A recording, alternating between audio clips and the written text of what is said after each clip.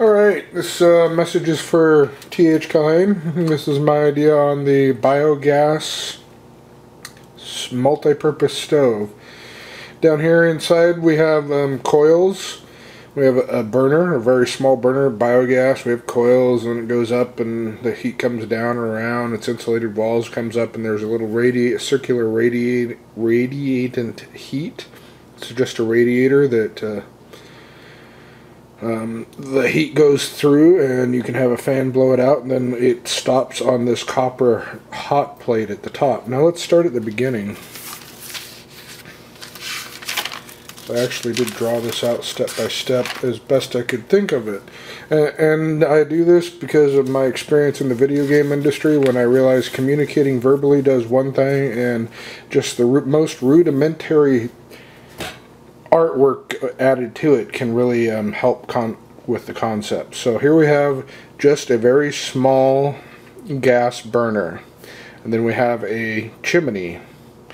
And then this chimney goes up and it is insulated. That's what the yellow represents here. And as it goes up, um, it will then be forced back down. Which, see there's the whole chimney thing. And this coil is what's going, this, this is a coil of copper starts at the bottom and it goes around and then once it hits the top it goes tighter and tighter and tighter until it then it goes out the top. But this will be airtight and it will sit over the top of this which is what this graphic is supposed to demonstrate is the lowering of the coil here. Now here's one problem I have. I don't under I don't have the um, knowledge in math and physics to know what the tolerance factors are to make the air ratios work right. Anyway, so you slide the coil over the top of this insulated exhaust and you get 100% of your exhaust going up. It hits the, the top of this coil area and then it has to travel back down and get outside where it's then forced up around it and over across the top and up, which hopefully I drew over here. Well, that's just the back side of that.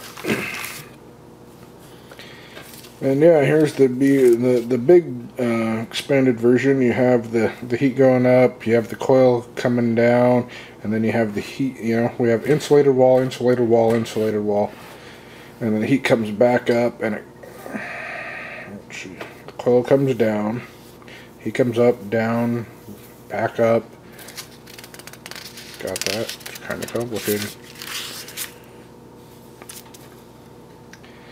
And as it comes out here you have a radiate radiator or a heater. It's just you know heat this tube here it comes up here and then you have smaller tubes that the exhaust runs through and, and then can goes back into a big tube. And you can then run air through that and you've got a, a radiated radiant heat. And then at the top here you have a hot plate, which hopefully represents over here. You have the coils, all this good stuff you have going up and down and up and down and up and down, and you're, you are using that energy as many times as you possibly can. The radiant heat does not need to be there, but at the top you have a copper plate. It's like a circular plate to match the exhaust.